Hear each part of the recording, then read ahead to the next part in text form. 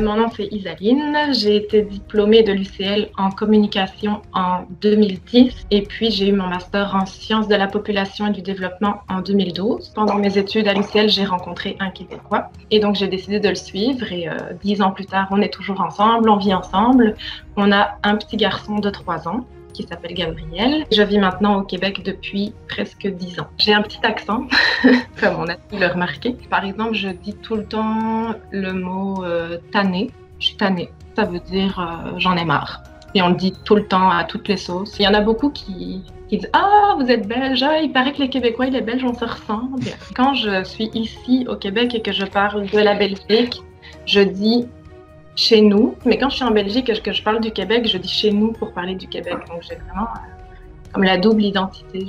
Mes plus beaux souvenirs concernent plus les liens avec les, les, les cocoteurs, les cocoteuses, plus que les cours eux-mêmes, en fait. C'est sûr que vu que j'avais un bac en communication, les employeurs sont toujours intéressés parce que c'est un atout pour n'importe quelle branche. Et puis le fait d'avoir une maîtrise aussi, ça m'a peut-être aidé pour mon premier emploi. J'ai été euh, professionnelle de recherche à, à l'Université Laval. Le fait que j'avais une maîtrise, ça montrait que j'avais déjà un, une certaine expérience dans le domaine de la recherche. Donc ça, ça les a intéressés aussi. En arrivant au Québec, j'ai refait des études en environnement et je travaille maintenant dans ce domaine-là. En fait, je fais de l'éducation à l'environnement dans les écoles primaires. Je travaille pour une coopérative. Je me promène dans les écoles. C'est des classes de 4e, 5e et 6e primaire. Je vais cinq fois dans chaque classe, espacé de deux ou trois semaines à chaque fois. Et on fait des ateliers euh, très interactifs avec les élèves pour euh, justement euh, les sensibiliser principalement au réchauffement climatique dans une optique très très positive. Donc euh, jamais, euh, on veut jamais les alarmer, leur faire peur. Euh,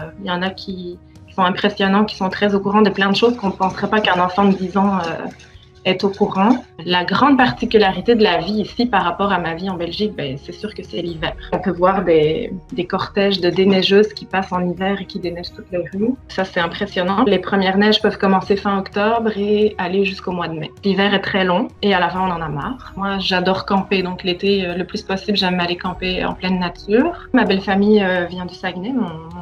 Chum, comme on dit ici, vient du Saguenay. Donc, au Saguenay, ben, c'est toujours euh, très intéressant d'aller là. Il y a beaucoup, beaucoup d'espaces verts, des parcs naturels. Les gens sont super accueillants. Je trouve que la vie est facile ici.